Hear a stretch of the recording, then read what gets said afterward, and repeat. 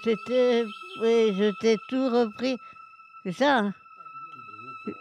Je t'ai tout donné. Je t'ai tout repris. Et puis après?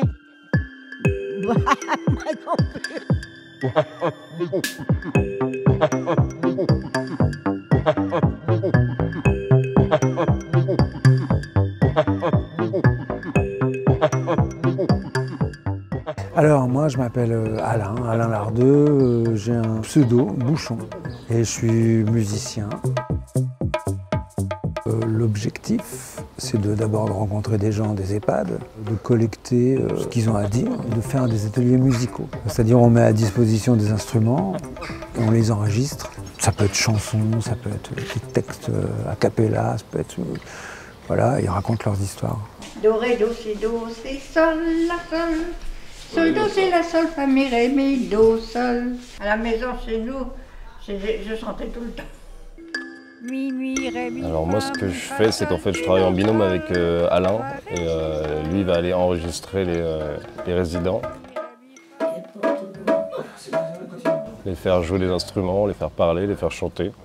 Et en fait moi je vais faire des boucles sur mon ordinateur en temps réel et aussi chez moi réarranger un peu tout pour créer des, des morceaux un peu uniques.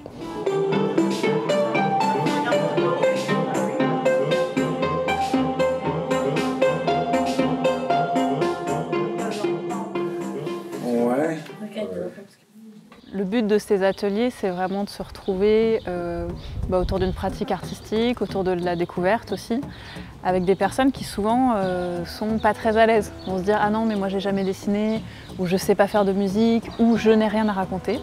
Et l'idée, bah, c'est de proposer un cadre euh, d'expérimentation, de jeu aussi, et de venir avec des propositions, euh, des choses très ouvertes, et à la fin de créer, d'avoir une création qui rassemble ces différents aspects. À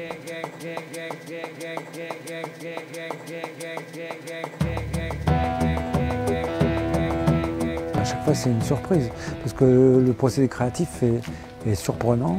Et là, c'est bien parce qu'on ne sait jamais ce qui va se passer. Parce qu'il y a des anecdotes euh, sensibles, drôles. A, Par exemple, euh, un ancien trompettiste professionnel qui allait pas de chemillé, qui n'avait pas joué depuis 15 ans. Moi, je lui ai mis une trompette, j'étais au courant. Donc il n'avait pas soufflé dans sa trompette, donc il a ressoufflé à l'audible, c'était dur. Il a, fait, il a sorti une petite anecdote là-dessus, en disant oh, c'est une tonalité pourrie, etc. Puis après il a joué, c'était magique, c'était très sensible, on, avait envie de pleurer. On passe au temps. Je la laisse marcher et puis moi je fais mon petit travail. puis voilà. Voilà la journée.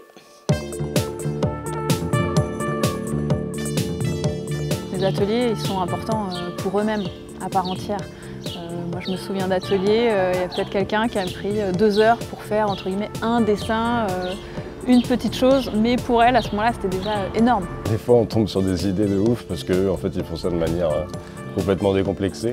Et ça peut donner lieu des fois, enfin il y a des morceaux où je suis là mais j'aurais jamais pu trouver ça tout seul et, c'est assez fou euh, ce que ça peut donner.